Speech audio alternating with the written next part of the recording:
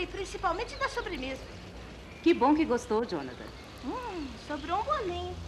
Eu tô satisfeito, ele é seu. Dá licença. Por que não posso ir com vocês? Cindy, por favor, agora não. Aposto que mamãe não vai deixar. Claro que vai. Não vai, não vai, não vai. Você vai ver só. Você pode me informar o que está acontecendo?